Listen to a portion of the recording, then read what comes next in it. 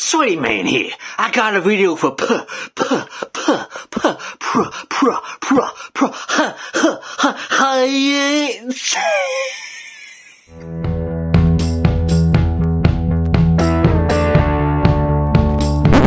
He said I gotta keep the video short and sweet. So I'm just gonna do that and skip the intro. Prog. T- Yeah, he asked for our favorite album of 1980. 1980 was a fine year, man. It was fine.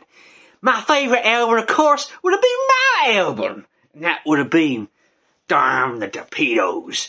See, I'm a lot thinner there, put on a bit of weight since then, but uh, that happened at, that happened a year before 1980, so I had to choose something else, and damn, I didn't, didn't release nothing that year, so I can't pick that. So, I gone with ACDC, man. Back in Black. What an album. What an album.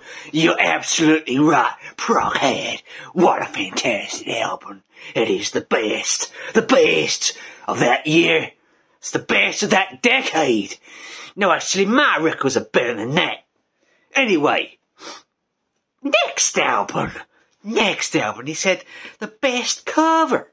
The best cover. Well, something striking about this album of the Talking Heads. It's just so good. It just draws you in. That pixelated face. Yeah.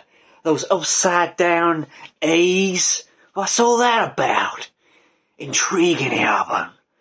What a cover, man.